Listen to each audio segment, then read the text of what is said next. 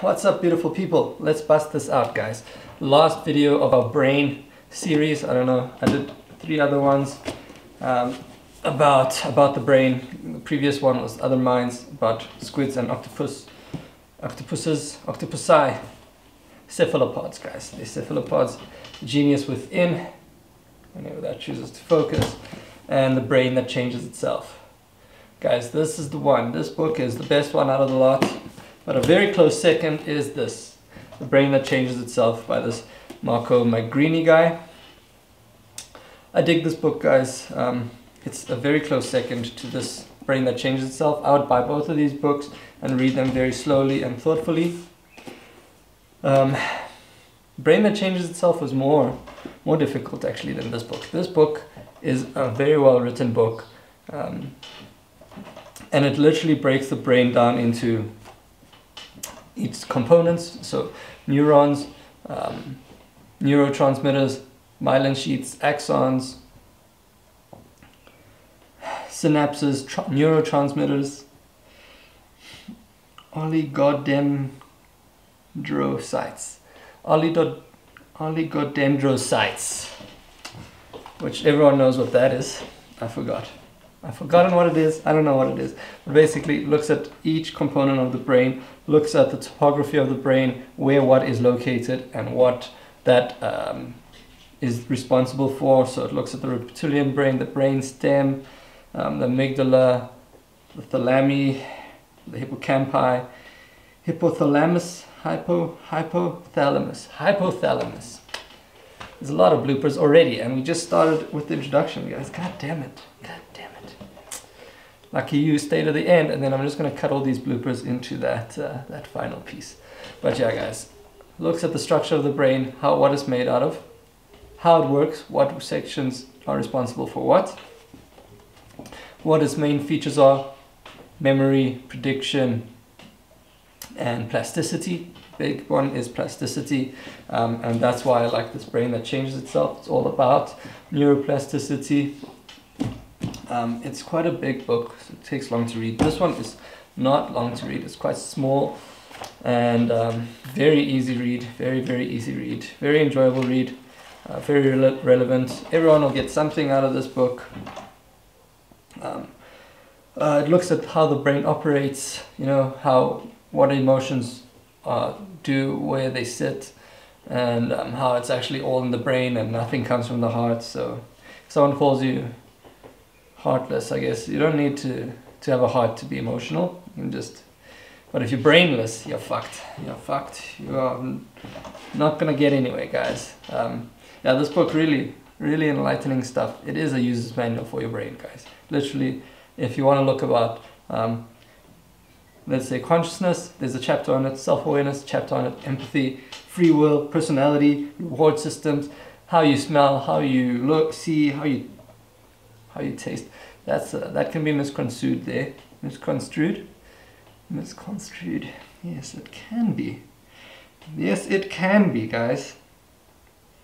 Diseases on of the brain. It looks at um, what stress can do to your brain, how your brain can malfunction. It looks at Alzheimer's, uh, autism, chronic depression.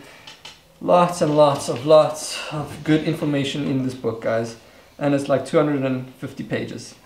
So you can bust it out quite quickly in terms of reading it. But you'll have to you'll have to reread it. I'm definitely going to read it again. Again, I'll read this one and Brain That Changes Itself. These very good books, guys. Very, very good books um, on the consciousness side of the brain. I'm quite interested now in the subconscious, but I'm going through a phase of reading about leaders and historically important people.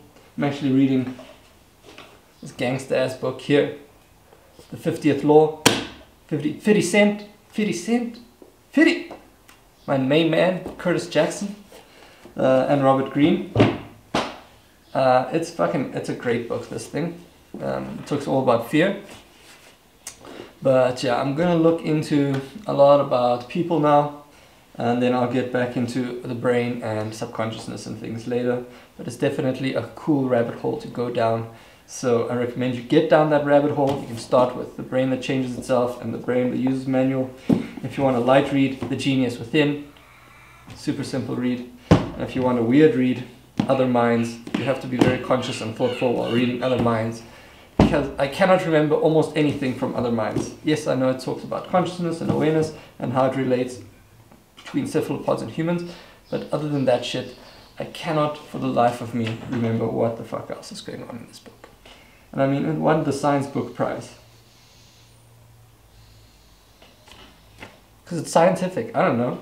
I don't know, but it didn't capture my attention. Not like these other books. Not like these other books. So, that is it, guys. That is all for today. Update on 90 Day Challenge. I have failed it, I guess. I don't know if you want to call it that. I was sick again. I'm on antibiotics till tomorrow. This is my last pill for the day, baby. Um, and I just took the whole fucking week off from Tuesday. I just can't be tired, like sick and working out. I was sick for over a month now doing this damn challenge. So we're back at it tomorrow. We'll go kick ass again. But I would really want 90 days in a row to do this thing successfully. Um, however, I don't know what to do when you get sick. I don't know. I don't know. Maybe I'll do the 75 day hard thing. Although, to be honest, what I'm doing is much more difficult than that shit. So, I don't know if I want to downgrade to 75 hard. Is that arrogant if you say that? Who gives a shit? Who gives a shit? I don't know. Maybe I'm trying too hard and it's not sustainable. And 75 hard is more sustainable, so it's, it can be achieved versus what I want to do, which is like two, three hours of working out a day is not achievable. Which reading every day for like an hour and a half is not achievable all this shit. It's too much stress on your body. I don't know, but it fucked my body.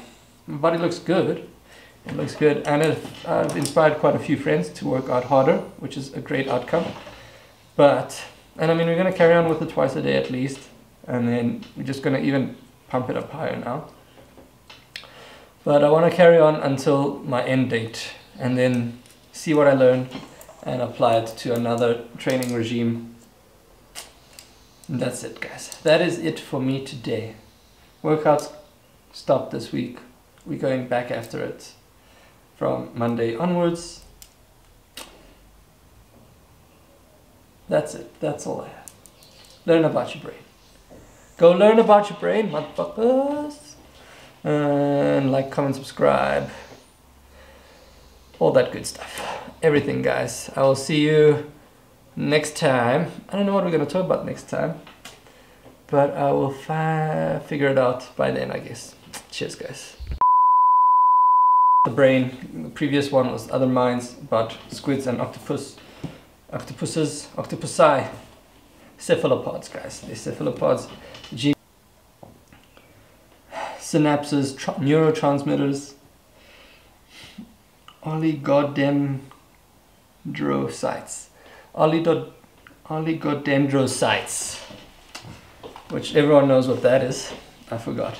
I've forgotten what it is. I don't know what it is. Hypothalamus, hypo, hypothalamus, hypothalamus. There's a lot of bloopers already, and we just started with the introduction, guys. God damn it. God